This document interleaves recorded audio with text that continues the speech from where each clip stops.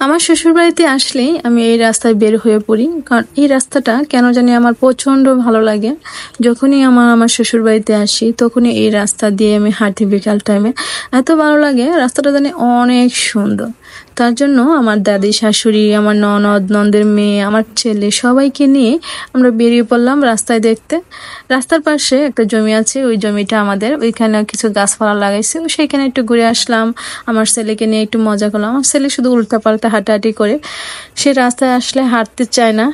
প্রচণ্ড বিরক্ত করে এদিকে আমার ননাইশের মেয়ে আম চুরি করতেছে। আমচুর আমচুর করে সবাই মজা করতেছে। দেখেন দুইটা আম চুরি করলাম। আম চুরি করার পরে আমার ছেলে এসে আমাকে ডিস্টার্ব করতেছে। এদিকে আমার ছেলের হাত ঘোরাচ্ছে। এদিকে আমি ওকে ডাকতেছি, বাবা, আমার কাছে আসো। তো অনেক গরম পড়ছে, একটু একটু বাতাস ছিল। হাফানকে একটু খাওয়াই নিলাম পানি। এদিকে ও হাত ধরে ধরে নিচে নামতেছে। এত ভালো লাগতেছিল, কেমন লাগল অবশ্যই কমেন্টস করে জানাবেন।